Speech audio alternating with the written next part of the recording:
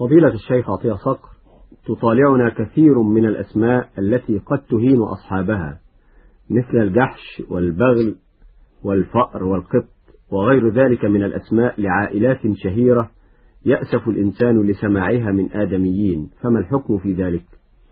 روى الترمذي عن عائشة كان النبي صلى الله عليه وسلم يغير الاسم القبيح وروى أبو داود أنه سمع اسم حرب وغيره وسماه سلمى وغير المضطجع وسماه المنبعث وغير بني الزنية وسماهم بني الرشدة وغير اسم الحباب بعبد الرحمن لأن الحباب اسم الشيطان والسبب في ذلك أن الأسماء تؤثر على من سمي بها نفسيا أو سلوكيا. والله أعلم.